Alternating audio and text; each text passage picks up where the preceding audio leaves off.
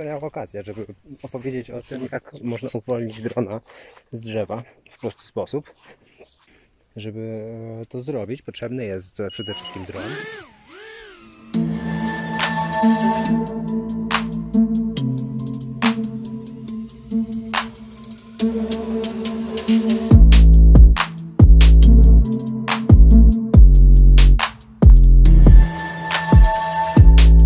Najlepiej taki, który utkwił na drzewie.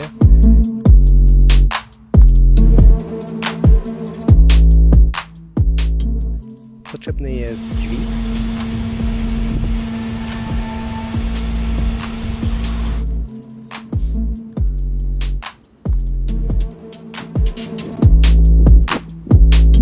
Jeśli ktoś nie ma dźwigu, to jest drugi sposób na to. Potrzebny jest sznurek. No i drzewo, na którym utkwił dron. Robi się to tak.